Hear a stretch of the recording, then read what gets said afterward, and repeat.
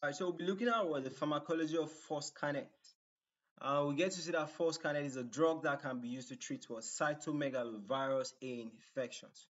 Okay, so we'll be looking at the pharmacology of this drug and um, basically how it works, um, its side effects, and all those a beautiful story about the foscarnet drugs. Okay, so pharmacology of foscarnet drug, which is an anti-cytomegalovirus agent.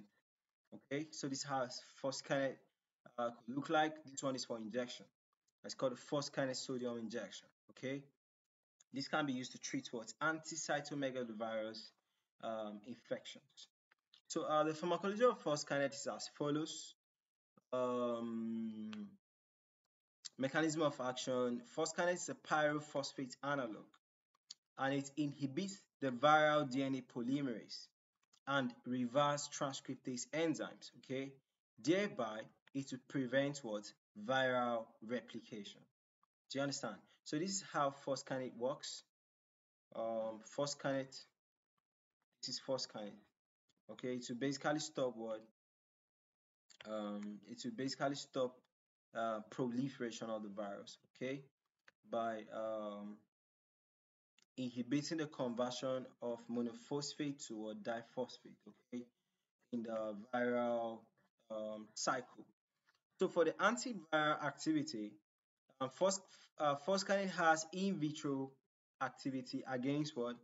Herpes virus, that's the type 1, um, type, type 1, type 2, and the varicella or zoster virus.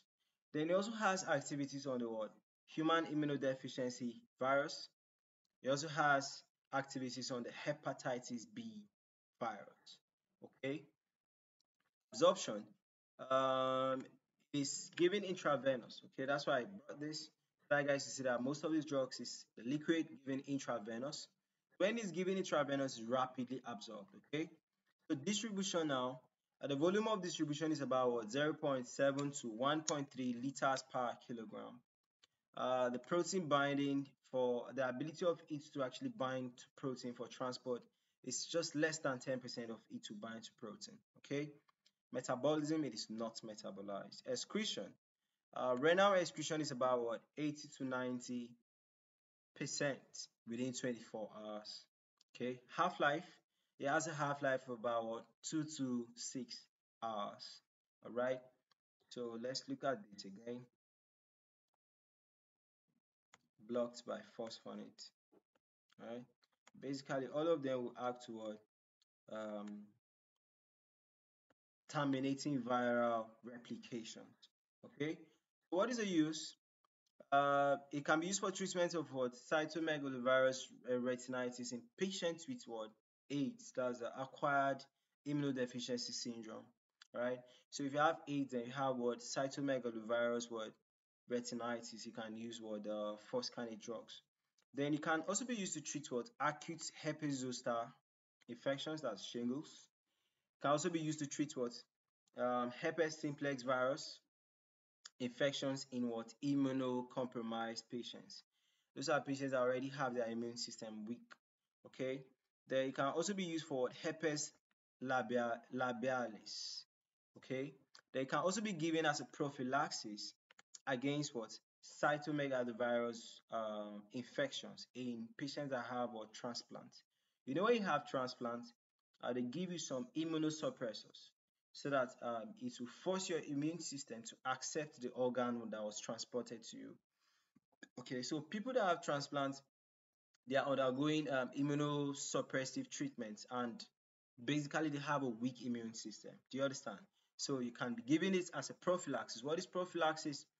Um, you give it like as a vaccination before time to prevent a disease condition. Okay, it's a foscarnet. Contraindications. All right. Um, individuals that have renal impairment, you shouldn't use foscarnet because what most of foscarnet is what excreted through the urine. If you have renal impairment and you are given a drug that over 80% to 90% of it is excreted through the urine, then you might have what toxicity or accumulation of this drug in your body. Then seizure disorders. Right? If you have seizure disorders, you don't use the foscarnet on them. Then um, if the patient has a hypersensitivity toward foscarnet or any component of the formulation, you shouldn't use the medication on them. All right. So foscarnet is administered what intravenously, and dosage and administration should be what individualized based on the patient needs and the renal function of the patient. Just like I told you guys, uh, let me go back to here. Excretion. Over 80 to 90% of foscarnet is excreted through the renal. So you don't want to give it to somebody who has a renal impairment because the drugs will be held back in the body. Do you understand? So that's it about what the pharmacology of foscarnet. Uh, talking about the mechanism of action, antiviral activity, uh, clinical uses, distribution. It was all fun. Okay, so see you guys in the next drug.